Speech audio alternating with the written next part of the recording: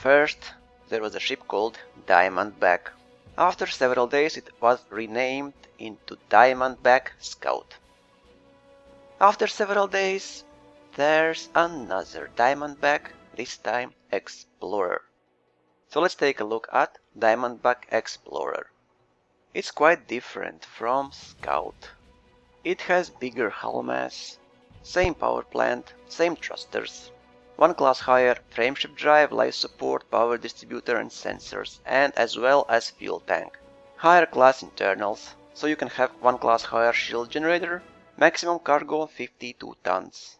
It has same 4 utility mounts, 2 medium, 1 large hardpoint. Large hardpoint is located below your ship.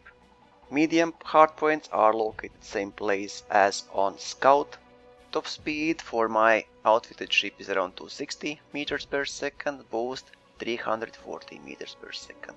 Jump range around 29 light years. That is for completely combat outfitted ship, so jump range is really impressive. Maximum jump range would be around 35 light years.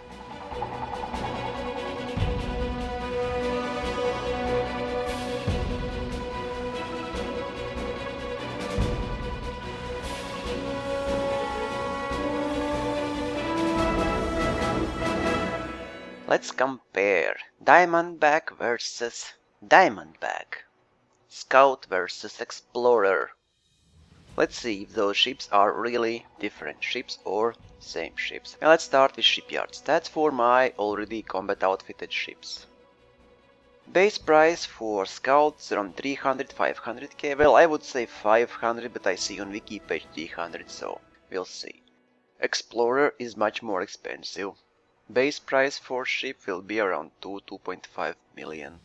Top speed for Scout is around 50 meters per second more. Boost speed around 80 meters per second. Also it's much more agile. 360 degree pitch in Scout took me 8 seconds. In Diamondback Explorer 10 seconds.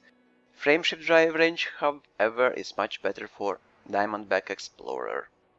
Shields are slightly better for Explorer, same as armor.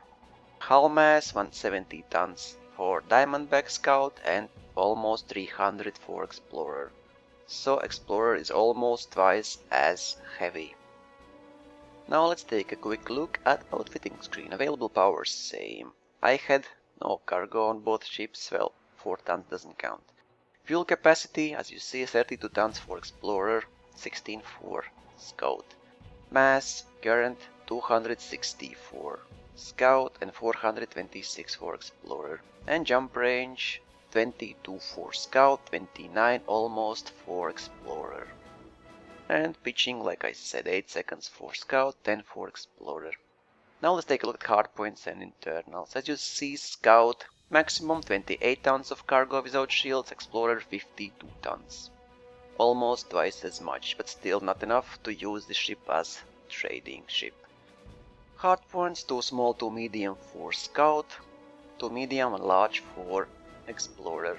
One large instead of two small is huge improvement, especially if you are against medium and large ships. Four utility mounts for both ships. Power plant same size, which is a shame. Thrusters same size and that's why Explorer is not that agile. Frameshift drive, one class higher for Explorer, thus jump range is higher. Life support, one class higher for Explorer, same as power distributor, which actually makes a big difference if you are using Explorer for fighting. Sensors also one class higher for Explorer, fuel tank also, meaning double size. 32 tons against 16. Shield generator one class higher, but because of almost doubled mass, the gain is not that big. But you can use class 4 shield cell bank. So Scout has one class 2, 3 class 3 internals, and Explorer has 2 class 4, 2 class 3 and 1 class 2. Does that make Explorer to be worth 2.5 mil? I don't know. So, as you see, those ships are both called Diamondbacks, but they are quite different.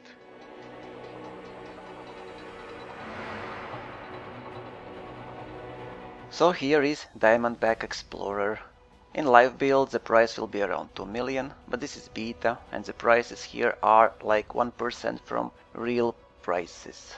That's why it costs only 20,000. Top speed 242, boost speed 316. For utility mounts, two medium and one large hardpoint, so it's considerable upgrade from two small hardpoint that Scout has. Cargo compartments, two size 4, two size 3, one size 2. Let's just buy the ship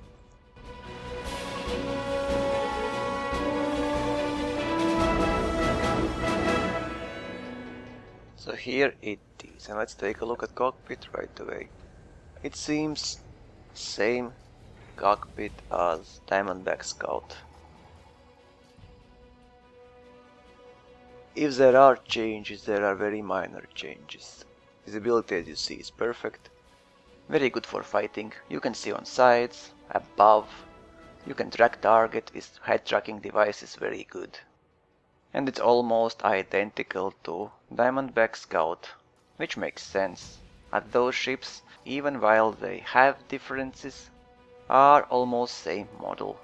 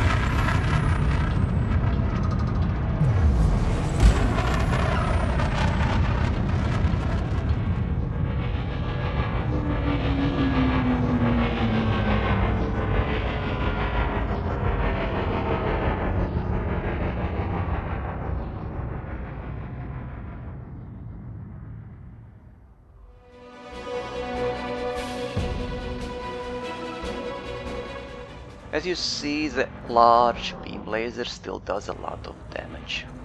And as it's located below your ship, it's good for fixed weapons.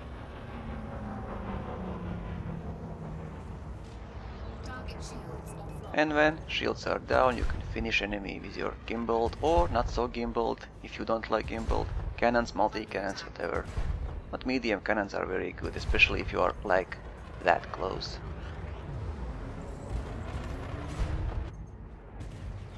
So no problems killing pythons, NPC pythons of course. The ship is not that agile, you can feel that right away, especially pitching. Compared to Scout's 8 seconds, Explorer can do 360 degree pitching in 10 seconds. And that's with 4 pips, 2 engines.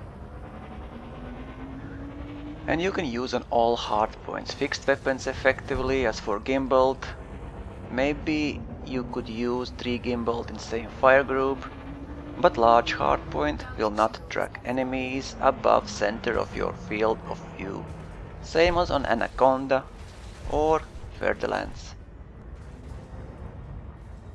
It's a nice ship for new players, and as soon there will be Xbox One release, Frontier is releasing ships for new players more than for experienced players.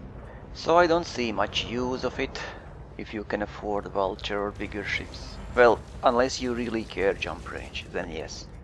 29 light years for almost fully combat fitted ship is really nice.